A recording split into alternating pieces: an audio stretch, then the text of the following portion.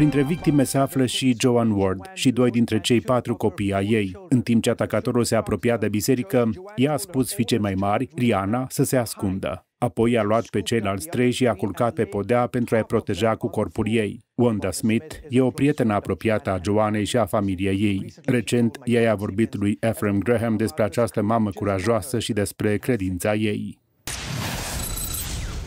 Wanda, de unde o știi pe Joan? I met Joanne when I moved to the area three years ago.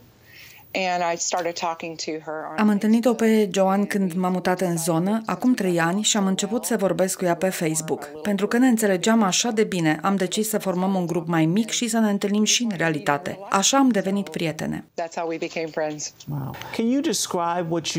Ne spui ce s-a întâmplat în acea dimineață cu ea și cu copiii ei? In a nutshell, uh, all I really know is from what Rihanna has told me. Uh, Rihanna explained the situation as soon as I got to the hospital after mm-hmm. the shooting. We were notified, mm-hmm. and Rihanna. Uh, Pe scurt, tot ce știu e ce mi-a spus Riana. Ea mi-a explicat situația imediat ce am ajuns la spital. Imediat după masacru am fost anunțați. Primul lucru pe care Riana mi l-a spus a fost Eu nu am fost împușcată ca ceilalți pentru că mama m-a împins pe podea și m-am ascuns. Era marcată și plângea, însă a continuat să-mi spună că după ce Joan s-a aruncat pe podea și-a strâns copiii, Ryland, Emily și Brooke, și i-a acoperit cu corpul ei. Uh, Ryland and Emily and, and Brooke and just covered them with her body.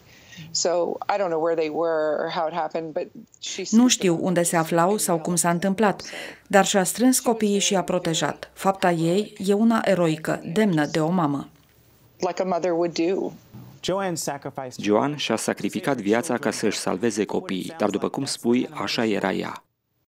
Oh, without a doubt. Everyone that knew her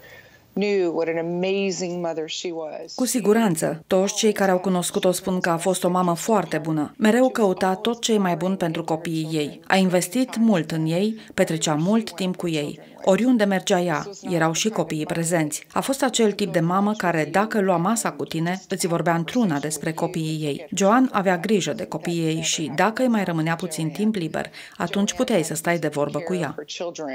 And maybe if she could work you in, then you got a conversation with her. Now her husband was at home on Sunday morning. Soțul ei rămăsese acasă deoarece lucrase în tura de noapte. Acum el și copiii trec prin momente dificile. Cum să ne rugăm pentru ei? It's life shattering for him. He he hasn't been doing well. Just pray for strength and comfort. El trece printr-o perioadă grea și nu este bine. Rugați-vă ca Dumnezeu să îl întărească, să îl mânghe, să îl îndrume și Domnul să lucreze la inima lui ca să îl caute pe el. Sper ca toți cei afectați să-l caute pe Domnul, pentru că El este singura noastră speranță. El e singura noastră scăpare. El nu a vrut ca acest eveniment rău să aibă loc. Trăim într-o lume decăzută, asta este. Diavolul a intrat, dar noi îl avem pe acela despre care se spune. Cel ce este în voi este mai mare decât cel ce este în lume.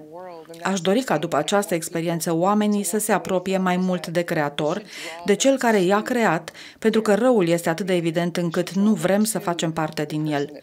Oamenii ar trebui să se apropie de Dumnezeu. you don't want to be a part of that.